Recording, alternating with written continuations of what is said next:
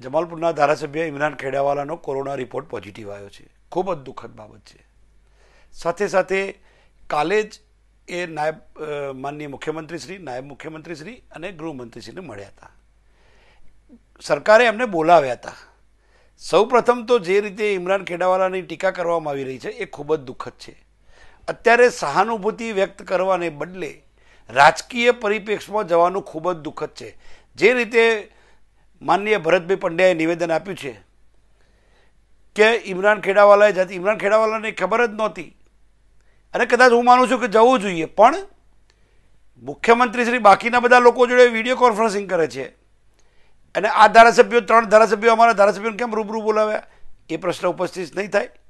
બીજી વાત, પહેલાં ભરતભાઈ પંડ્યા અને જીતુભાઈ વાઘાણી બે એક સાથે મળી નક્કી કરે કે કોંગ્રેસે કોનું માનવું. કોંગ્રેસે જીતુભાઈ વાઘાણીનું માનવું કે ભરતભાઈ પંડ્યાનું માનવું?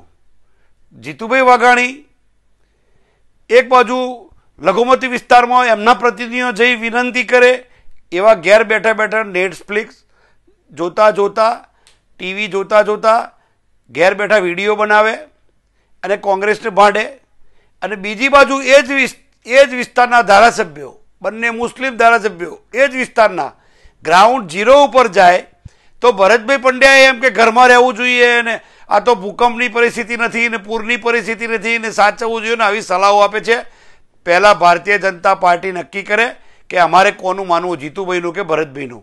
ત્રીજી વાત, તમારો એક પણ ધારાસભ્ય, એક પણ, હા, માત્ર હર્ષ સંઘવી અથવા તો પ્રદીપસિંહજી સિવાયનો એક વ્યક્તિ મને ગ્રાઉન્ડ ઝીરો ઉપર બતાવો, તો જાહેર જીવન છોડી દેવા તૈયાર છું. તમારા લોકોને વચ્ચે જવું નથી. જે લોકો જાય છે એમને ભાંડવામાં આવે છે. આ રાજનીતિ ખૂબ જ દુઃખદ છે.